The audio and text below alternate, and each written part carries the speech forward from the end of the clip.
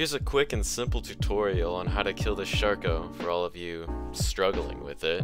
The first thing we're going to focus on is probably the Sharko's most notorious move for freshies, the kick.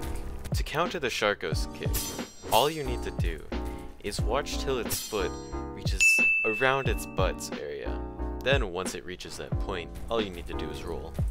Its next attack I'm going to talk about is its double slash, or just one slash. When you see its arm move up to its side, you're gonna want to wait about half a second before parrying.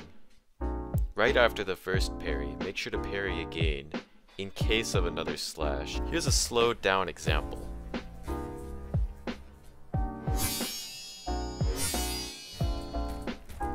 For its final attack, it'll bend over and shoot out a bunch of barnacles. It's really simple to parry, all you need to do is just spam F. And that's how to kill a Sharko. In the description there's more information on how many times you should M1. But other than that, be sure to like and subscribe.